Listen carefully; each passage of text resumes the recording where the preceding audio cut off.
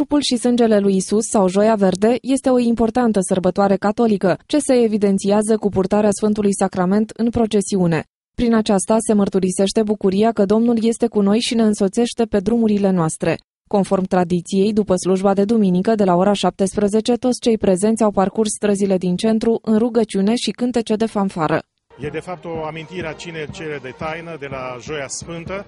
Atunci era săptămâna mare, nu se putea face o sărbătoare deosebită, de aceea s-a făcut astăzi. Ne-am rugat pentru uh, oraș și am cântat lui Dumnezeu. Copiii de la Sfânta Împărtășanie din cele trei parohii din oraș au aruncat flori înaintea uh, Sfântului Sacrament. Uh, e o bucurie deosebită, oameni mulți care au participat și asta rămâne cel mai important, că am cântat împreună și ne-am rugat. Înaintea Sfântului Sacrament purtat de Petru Gherghel, episcopul diecezei de Iași, drumul a fost presărat cu flori de copiii care anul acesta au primit întâia Sfântă Împărtășanie.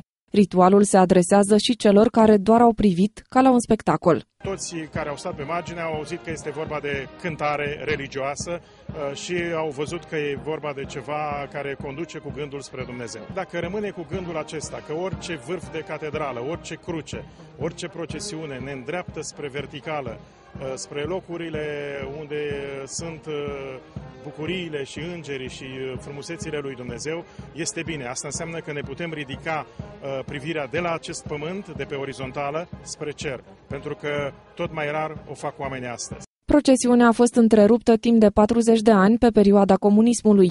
După 89, sărbătoarea este marcată astfel în fiecare an în comunitățile catolice.